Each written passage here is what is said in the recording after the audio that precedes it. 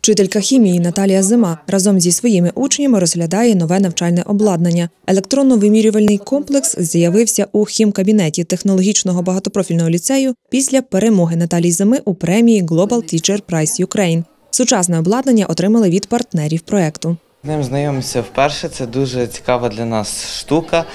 Раніше ніколи навіть не представляли, що таке є. На уроках зможемо вимірювати всю інформацію, яку раніше не могли знайти, або потрібно було якось е, йти в університет. А тепер ми можемо самі на уроці дослідити, е, зберегти графік і мати інформацію. Насправді, ми раніше, коли виконували наукові роботи, е, ми навіть не використовували таке обладнання, тому що його просто не було в Хмельницькому. Ми використовували інші прилади, і ці дослідження були довші, складніші. А зараз все дуже просто. Датчик е, під'єднується навіть не через дроти, через Bluetooth, навіть до телефону, і вимірювання можна проводити навіть на вулиці. Сподіваюся, що це надасть можливість зацікавити більше дітей вивченням хімії, тому що крім візуальних ефектів від хімічних реакцій, що дуже важливо розуміти глибину хімічних процесів, розуміти те, що відбувається на стиці хімії, фізики або інших предметів. Це дуже важливо.